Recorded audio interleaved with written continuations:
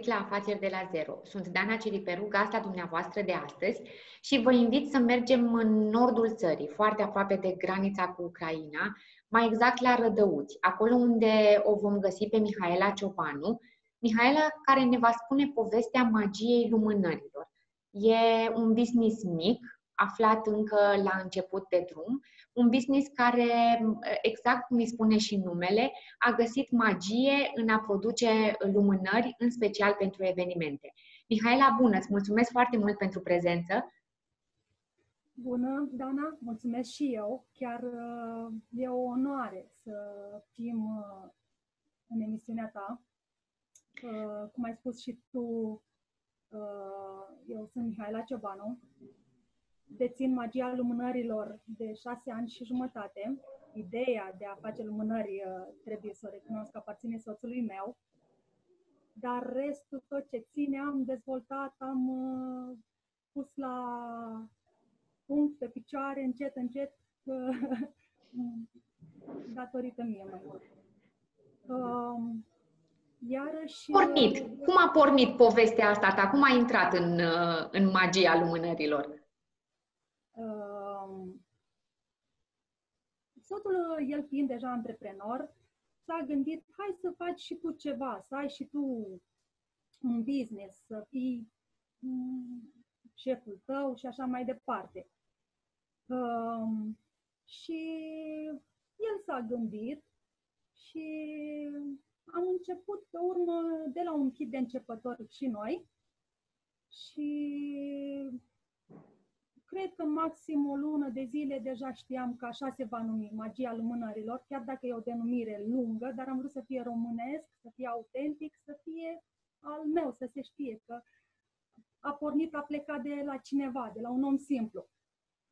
Um, și ca formă de organizare acum, tu ești întreprindere individuală. Asta e forma pe care ai ales-o pentru businessul tău. Da, sigur. Pentru moment am considerat că este cea mai potrivită. Uh, și momentan cred că așa va rămâne. Poate se va schimba în viitor, asta depinde de alți factori. Uh, dar pot să-mi fac treaba foarte bine și așa. Am colaborări foarte frumoase cu oameni foarte frumoși din toată țara, uh, cărora le mulțumesc cu ocazia asta pentru încrederea care mi-au dat-o, răbdarea cu mine cu, cu faptul de a înțelege că este o manufactură în spate. Eu uh, produc lumânările prin uh, turnare, adică pregătesc compoziția, uh, fiecare este turnată manual, nu am deloc utilaje. Uh, se face poate mai greu, dar uh, e avantajul că poți să oferi altceva, poate ce o fabrică mai mare nu, nu e rentabil să facă serii mici. Și pentru tine, în ce a constat investiția? Spuneai că nu există utilaje, că e foarte multă manufactură. În ce a constat investiția de pornire? Să uh, cumperi materie primă? La cât s-a ridicat ea? Um, da, a ajuns totuși, au fost niște bani investiți la început, suficient, în uh, foarte multe matrițe din uh, silicon, acel uh-huh. cauciuc care permite uh, să ai o lumânare cu model în relief. Uh, doar că, fiind o cantitate mare, varietate mare, aici o, uh, e cu bătaie lungă recuperarea investiției. Apoi, uh, plec când de la o plită electrică, tot la oale cu termostat, unde trebuie să ai control pe temperatură, pe menținerea temperaturii. În prezent uh, doresc să-mi iau totuși un uh, cazan mai mare și profesional de topire. E în plan și că am nevoie deja. Uh-huh. Am nevoie ca să-mi fac treaba mai ușor și eu. Când, la, la cât s-a ridicat? Spuneai tu că nu e o investiție mică cu toate acestea. Câți, câți bani a necesitat până acum proiectul tău? Uh, pentru început uh, au fost 10.000 de euro. Pe urmă n-am mai calculat. nu, dar uh, ăștia 10.000 de euro au fost așa dați uh, în decurs cam de un an și a fost destul de greu pentru că era și la momentul în care noi ne pregăteam să uh, investim în căsuță să facem un cămin mai primitor și iată că am ales să o iau pe drumul ăsta. acum e timpul să revenim la planul inițial și uh, investițiile într-o afacere nu se opresc niciodată. Trebuie mereu să te adaptezi, că dacă nu te adaptezi, uh, clientul ajunge în altă parte unde se poate.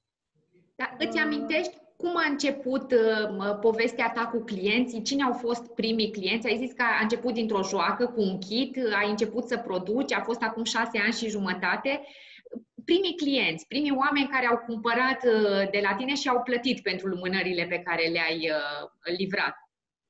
Da, primii clienți au fost uh, foarte încurajatori. Uh, eram în concediu de creștere copil după ce am fost ofițer de credite. Și era în luna decembrie și am vrut în jur de 15 decembrie 20, în perioada aia, gata, mă duc atunci, eu deja informez lumea ce fac. Uh, am luat o sacoșică, câteva lumânărele și m-am dus și toți cunoscuții, uh, profesia am și uh, dăduse avantajul de a avea foarte multe contacte. Toată lumea a fost uh, impresionată cum de așa schimbare și ei au fost primii. Și m-au ajutat, uh, pentru că te ajută mult, fiind la început de drum. Pe urmă, încet, încet uh, m-am axat pe online. Și iată că în ziua de azi e o cărămidă stabilă, pentru că e adică online-ul astăzi este prezent, nu mai e de viitor. Dacă nu ești în, în online, un magazin fizic, foarte greu să prețuiești. Exact. Tu ai avut vreodată magazin fizic sau de la început a fost site-ul Magia Lumânărilor și colaborări cu alte magazine online? Uh, am avut uh, împreună cu soțul, el având alt domeniu de activitate, uh, am avut și experiența unui magazin fizic dar în spate aveam online-ul. Fără uh-huh. online nu țineam pe picioare, uh, dar uh, deja noi am considerat că pentru noi este mai bine, având 80% comenzi online, nu se merita să plătim uh, toate cele unui magazin fizic. Ne-am retras acasă. Avem același volum de muncă amândoi și la un magazin fizic deja am luat din timpul meu de a fi în atelier, de a lucra acolo. Am avut uh, o perioadă și ajutorul uh, familiei, care fără ei, fără răbdarea cu mine și cu eforturile mele, le mulțumesc. Timpul ăsta al tău petrecut în atelier, la cât se ridică? Cât poți să stai maxim, așa, ținând cont că spuneai că ești și mamă? Da, așa este. Avem două fetițe de 5 și 7 ani și noi uh, avem experiența a lucra de acasă cu copiii de vara trecută. Totuși a fost greu, că am uh, avut și clasa 0 cu teme uh, și depășește 8 ore, 8-10 ore. Depășește. Deocamdată ești tu singură în, uh, în business, nu ai alți angajați, tu ești de toate. Uh, da, așa este. Momentan nu am angajați și mă descurc așa cum pot. Uh, am uh, în plan un viitor, e nevoie să fie uh, o echipă, un om, dar mai trebuie un pic să mai aștept. Cât, cât poți produce, Mihaela? Câte lumânări pentru evenimente poți produce într-o zi? Dacă ne referim la lumânările pentru evenimente, pot să mă întind și către 30-40. Dacă sunt cele decorative, automat timpul este mai mic, mult mai uh-huh. mic. Da, cam așa. Și lumânările decorative, acolo poți să ajungi la 100 de bucăți chiar într-o singură zi? Nu. Nu. Cele decorative care sunt uh, cu forme în relief, din păcate nu. Pentru că uh, sunt modele multe, dar e o matriță sau două, sau dacă sunt ceva mai micuțe, poate sunt 10. Nu. Aici e altceva. Și la cele a... decorative Acum, în, cas- în casările tale, încasările tale vin mai mult din, din colaborări în zona de evenimente sau din magazinul online și din vânzare directă către client? Uh, preponderent, acum eu uh, am cele mai multe încasări din colaborări cu uh-huh. organizatorii de evenimente, cu cei care automat uh, au alt rulaj la clienți și eu îi deservesc. Am uh, și partea mea de online, dar într-adevăr este într-o mai mică măsură. Pentru că, uh-huh. cum vin comenzile, mă ocup de fiecare în parte, unii așteaptă, poate și o săptămână, două și, și pe, pe zona de evenimente ai rămas um, așa ca arie în, uh, în jurul rădăuților sau lumânările tale au ajuns cam în toată țara acum, din informațiile pe care le ai mai, uh, mai departe de la clienți? Uh, clienții mei sunt din toată, aproape din toată țara, nu din toată țara, pentru că eu am marele avantaj că uh, ei se văd între ei, se cunosc, văd și automat uh, îmi vine o reclamă gratuită de la fiecare colaborator. Nu e chiar toată țara, dar o mare parte este și eu sunt mulțumit așa. Perioada asta, Mihaela, cum a fost pentru, pentru tine? Pentru că spuneai, pe de o parte, de avantajul online-ului, faptul că tu deja aveai un site bine pus la punct, cunoscut de clienți, care te-a ajutat să, să vinzi în continuare, dar în relația asta, pe zona de evenimente, care a avut foarte mult de suferit în, în ultimele trei luni. Într-adevăr, uh, și în martie la noi s-a simțit cel mai bine, cel mai uh, tare, un pic de amânare de comenzi în uh, reprogramarea lor, dar apoi, încet, încet, eu am avut activitate. Fiind poate și avantajul un mic atelier, automat am găsit o nișă în care am avut chiar, am revenit la ritm normal de lucru. Ok, deci la tine cele 8 ore sunt în continuare uh, bătute pe, pe ceas. Nu, nu ai răgat să faci altceva în timp ce uh, produci câte o lumânare. Uh, nu cred că sunt acum și fetele și au și ele nevoie de atenție și de timp. Cât costă o lumânare? Uh, păi depinde... O lumânare de botez, de exemplu, pentru... De botez dacă e să vorbim uh, din cea decorată și gata de livrat către client pentru clientul persoană fizică, poate să plece, uneori fac și într-un buget uh, decent de, să zicem, 80 de lei, dar sunt și lumânări de 200 de lei. Uh-huh. Și ele merg mai departe, de exemplu, inclusiv către florării, către firme, exact cum spuneai tu, firme de evenimente care le pot decora mai departe. Tu nu faci asta. Nu, nu. Eu când uh, distribui către organizatorii de evenimente, le dau lumânarea simplă și apoi ei uh, vin cu decorul, cu ideile lor și cu ce știu ei mai bine să facă. Spuneai că ai pornit în preajma Crăciunului, uh, de unde și ideea că Crăciunul și uh, poate sărbă, aniversările și uh, sărbătoarea Paștelui sunt chiar evenimente bune pentru tine, momente bune ca și vânzări, nu?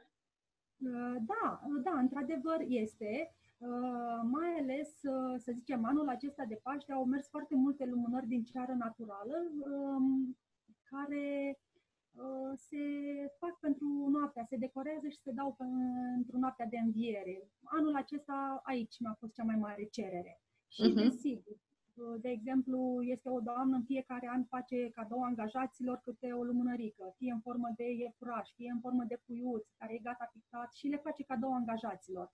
Chiar și anul acesta, deși a fost un an greu, totuși a reușit, a făcut efortul și a revenit.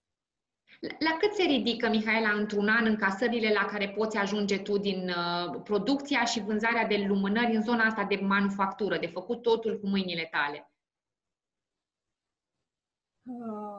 Dacă e să ne referim la cifră de afaceri, fiind și un mic atelier, cum îmi place mie să îi spun, în care este un singur om care trebuie să le facă de toate și crește de la an la an, să zicem, a, pe anul trecut a, a fost în jur de 50.000 de lei.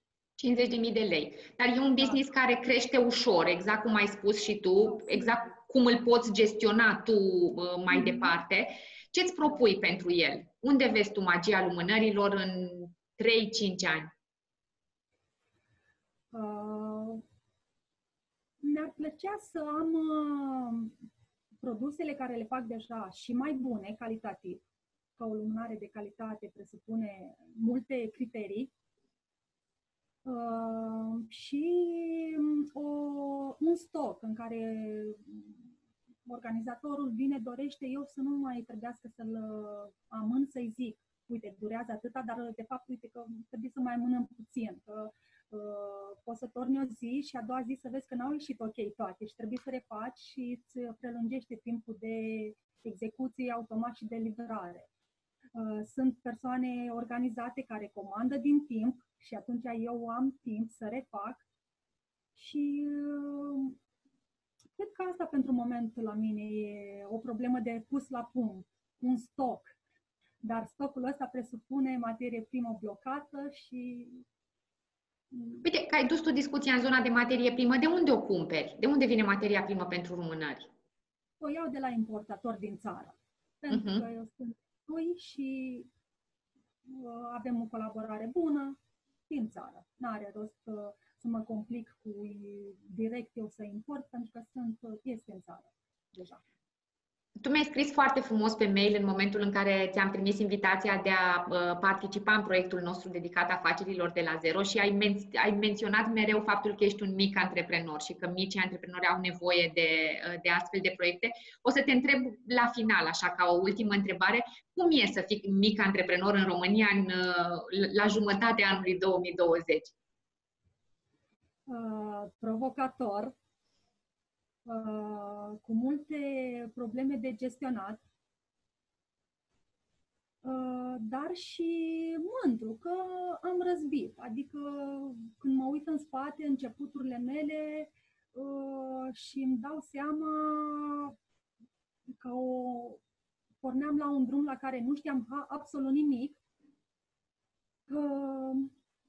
dar trebuie oricine are o idee să se țină de ea și să aibă răbdare și încredere în forțele proprii și să știe unde să-și caute clienții. Foarte important. Să-și aprecieze ei însăși, în primul rând, munca. Că dacă pleci cu un preț mic de la început, e posibil tu în timp să îți dai seama că nu ai n-ai realizat nimic.